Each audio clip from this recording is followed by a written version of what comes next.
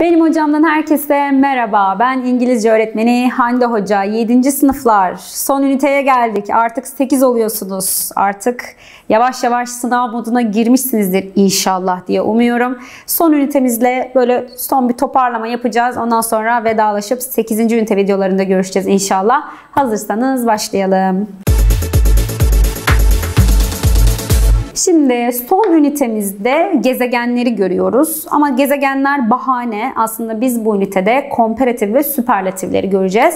Komparatifleri biz birinci ünitede görmüştük. Komparatiflerle bir açılış yapmıştık. Komparatiflerle de kapanış yapacağız. Ne demekti compare, comparisonlar?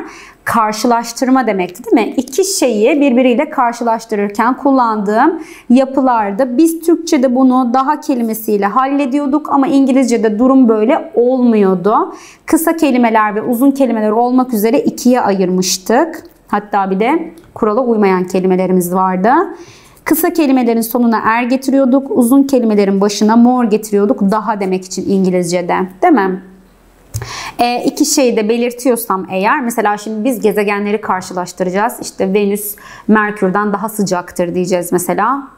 Merkür, Venüs yanlış söyledim tabi. Mars'tan daha sıcaktır diyecektim. E, araya bir den getirmem gerekiyor iki gezegenin arasına. Mesela bir bakalım. Jupiter yani Jupiter is larger than Mercury. Jupiter Merkür'den daha büyük. Zaten en büyük gezegen değil mi Jupiter? Onu söylemeyi de öğreneceğiz birazdan. En büyük demeyi öğreneceğiz. Ne yapıyorduk? Large, geniş, büyük demekti. Son harfi E olduğu için bir tane R harfini yapıştırıyordum sonuna daha geniş, daha büyük demiş oluyordum. Merkür'den daha büyük değil mi? Mercury is closer. close'un anlamı neydi? Evet kapatmak anlamı vardı ama bir de yakın anlamı vardı. Closer to the sun. Yani güneşe daha yakın. Bakın bu to'yu da konuşmuştuk. Eğer bir isimden önce gelirse EA anlamına geliyordu değil mi? Güneşe daha yakın. Kimden? Neptün'den daha yakın. Uranüs, Neptün zaten son gezegen. Plüton'u gezegenlikten çıkarmıştık.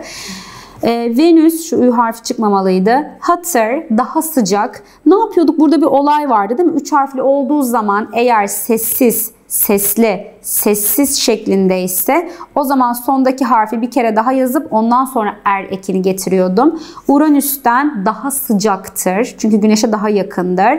Neptün further daha uzak. Yani far vardı ya uzak demekti. E, kuralı bozan bir kelimeydi far. Aynı good, better oluyordu. Bad, worse oluyordu. Far da further oluyor e, güneşe daha uzak than other planets diğer gezegenlerden daha uzak en sonda zaten o. Demek için komparatifleri kullanıyorduk. İki şeyi karşılaştırdık. Şimdi süperlatifler size yabancı. Kurallar aynı. Ee, yine er gibi bir ek getireceğiz more gibi bir kelime getireceğiz kısa sıfatların, e, uzun sıfatların başına sonuna. Anlam olarak da en diyeceğiz. En. Şimdi bir şeyi başka mesela komparatifde iki şeyi karşılaştırıyorduk. Ama süperlatifde bir grubun en süperini bulacağız. Tamam mı? Yani bir, ikiden, üçten fazla şey olacak orada. Biz en, şu en bir şeydir, en iyidir, en büyüktür, en sıcaktır, en soğuktur demeyi öğreneceğiz aynı şeyi yapacağız. Yani biz Türkçe'de en deyip işi bitiriyoruz. İngilizce'de yine bunu ikiye ayıracağım. Normalde komparatifde er ekini getiriyordum. Süperlatifde kısa sıfatların sonuna est getireceğim. Uzun sıfatların başına da the most getireceğim. Normalde more getiriyordum daha demek için.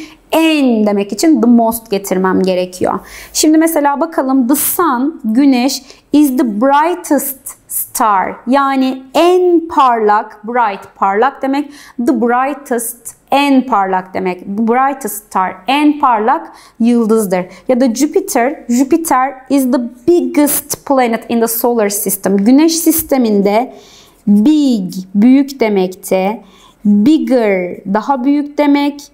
The biggest en büyük demek. Yani en büyük güneş sisteminin en büyük gezegenidir demek için biggest diyorum.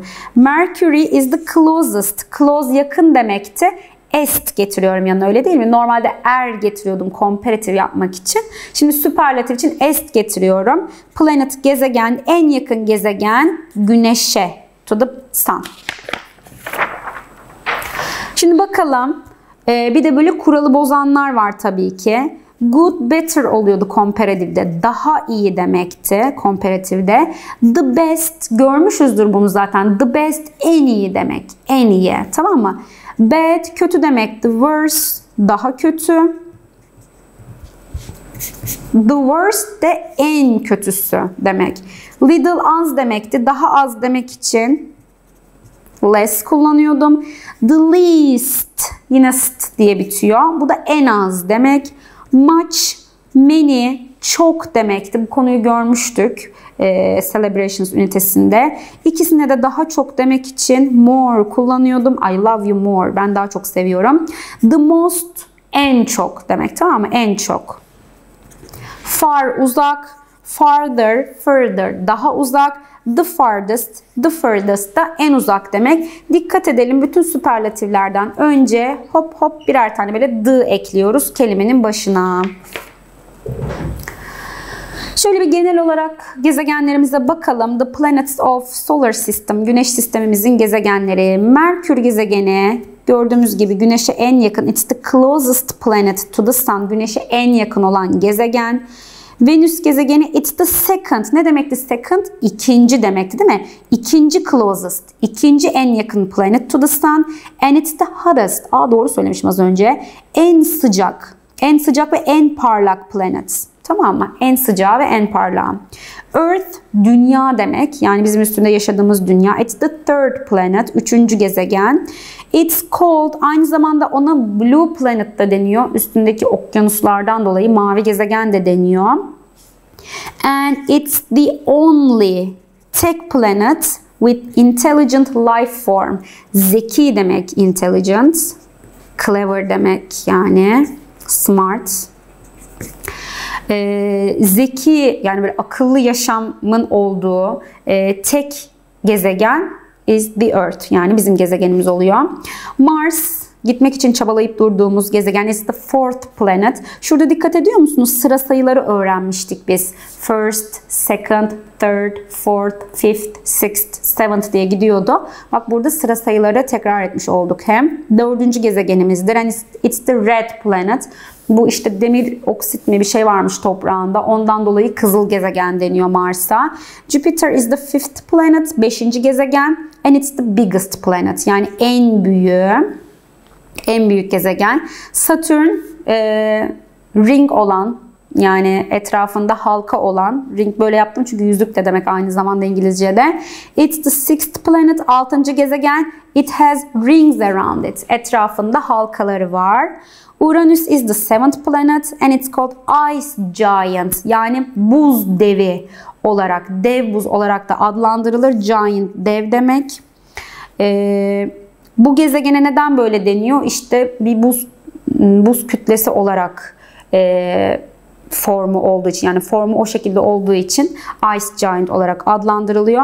Neptune is the eighth planet, 8. gezegen and it's the coldest planet çünkü it's the farthest from the sun. Güneşten en uzak olan gezegen olduğu için en soğuk gezegen de diyebiliriz. Plüto artık bir dwarf planet yani cüce gezegen. Garibim e, ne güzeldi. E, 9 gezegenimiz vardı ama Plüton'u gezegenlikten çıkardık.